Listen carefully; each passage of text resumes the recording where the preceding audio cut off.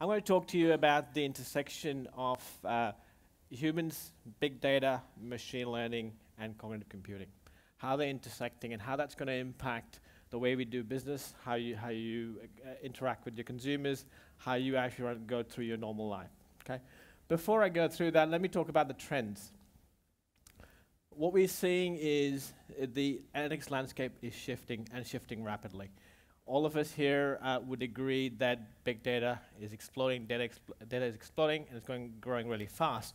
But what we're seeing in the last few years is the, the rate of growth is increasing rapidly, right? Uh, a Gartner study showed that in 2010 we had 7 billion networked uh, devices. In the next five years, that will grow to 26 billion devices. Imagine the amount of data that's going to capture, right? At the same time, we're seeing technologies like cognitive computing, machine learning, and you've heard a lot of speakers before me talk about how they're using machine learning. And Simon was uh, one of the companies talking to you about uh, machine learning. What we're seeing is these are getting increasingly mature. I mean, I did cognitive computing about four years ago, and technology has come a long way and started getting embedded in our customers' processes. The market dynamics are also changing. What we're seeing is that the price of storage is dropping rapidly, right? It doesn't matter if it's on the cloud or on-prem, the storage is getting really cheap. Big data infrastructure is becoming extremely mature to what it was a couple of years ago. Um, you had M Mike from Cloudera talk about all the new things that they're bringing out. It's rapidly uh, evolving. The other thing that we're seeing is a shift in the mindset of the C-suite and our clients. They are now increasingly understanding the power of analytics, big data, machine learning, and starting to embed them in their decision, decision support systems, right? Now, take that, all, all those trends, and then think about what the consumer is doing, right? Now, it's a term that we've coined in Accenture. We call it liquid expectations. What liquid expectations means to us is the customer's expectations are fluid. They're in an ever-changing environment. They expect uh, faster cycle times from, uh, from the businesses. They expect you to react real time. Right. With liquid expectations come liquid opportunities, right? Uh, size no longer matters. Um, if you are an organization that is comfortable, you're a market leader at a certain, um, certain level of customer service you're providing, it only takes a disruptor to fill that gap and that void. There's multiple companies out there that you see the examples of, like Uber, et cetera, that fill those gaps. Right? So what does this all mean, right?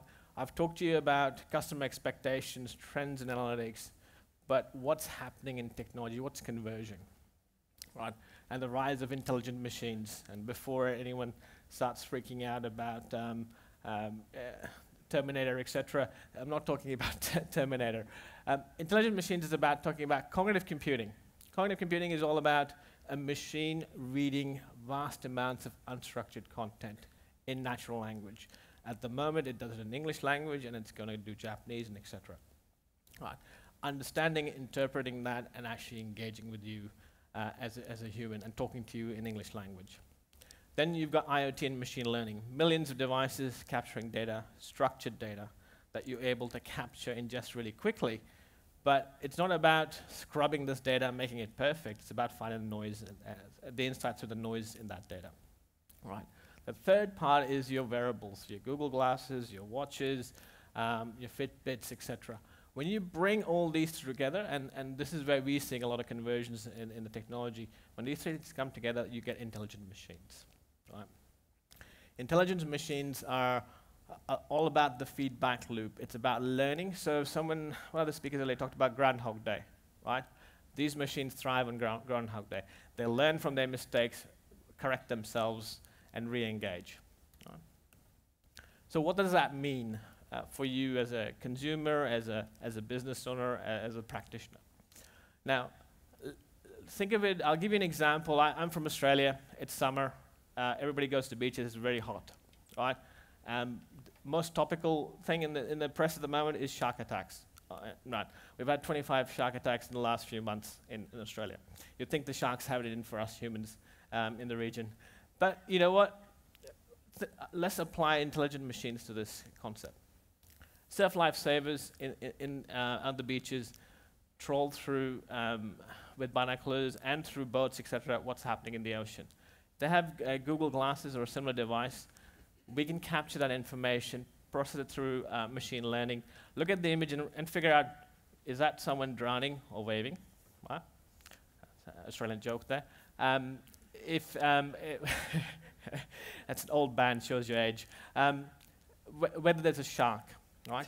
But the, the intelligent machine is about the cognitive computing side of things, actually giving the instructions to the lifesaver to say, hey, that's actually a shark, you need to evacuate the beach, you need to sound the alarm, or someone's drowning, get, get somebody out there, right? It's actually instructing them through. It's about the interaction, um, and the machine's actually making the process simpler, right?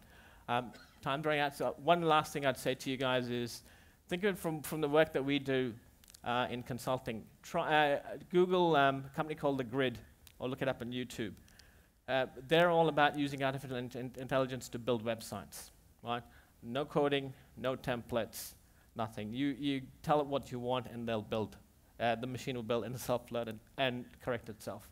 That's the future. That's where things are going. Um, with that, I'd like to thank you. Um, I hope uh, that short speech has given you some ideas of where this is going. Um, please do come visit us at the booth. Uh, I'll be there. A lot of my colleagues will be there. Happy to have a further discussion with you guys. Thank you.